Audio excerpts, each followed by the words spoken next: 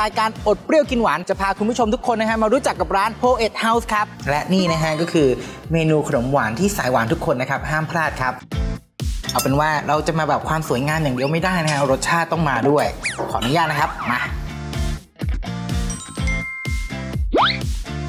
โหอันนี้อร่อยมากสังขยาที่เตรียมให้คุณผู้ชมในวันนี้ เป็นสังขยาที่อร่อยมาก เค้กเสร็จเรียบร้อยนุ่ม นุ่มนี่ไม่กล้าหายใจแรงเลยนะ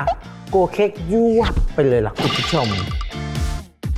ดูสิ่งที่ไหลออกมาสิคุณผู้ชมตายแล้วน่ารับประทานมาก ไม่มีลูกกิ้งทำยังไง ไม่มีลูกกลิ้งไม่ได้ค่ะขวดน้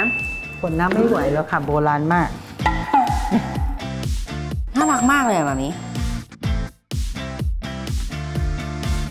พบกับพวกเราทั้งครอบครัวในรายการอดเปรี้ยวกินหวาน ทุกวันพฤหัสบดีเวลา4โมงครึ่งค่ะ